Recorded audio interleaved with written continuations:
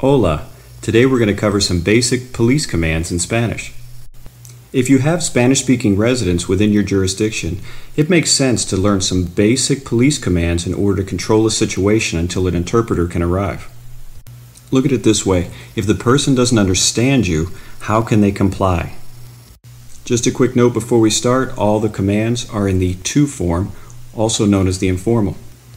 No te muevas, don't move. No te muevas. Suéltalo, drop it. Suéltalo. Alto, stop. Alto. Ven acá, come here. Ven acá. Vete, go away. Vete.